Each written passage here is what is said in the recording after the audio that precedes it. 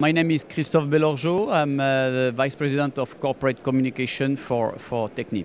So Technip is a, a leading player in the oil and gas sector uh, in uh, project management, engineering and construction for the oil and gas industry. Uh, we are now about 40,000 people in the world and uh, this year the revenue of the company should be around 9, 9 billion euros.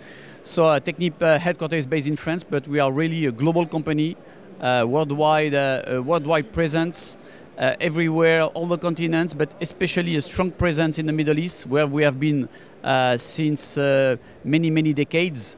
Uh, we have uh, a lot of people in Abu Dhabi where this meeting, this show, the ADIPEC show uh, takes place. We have more than around 2,000 people.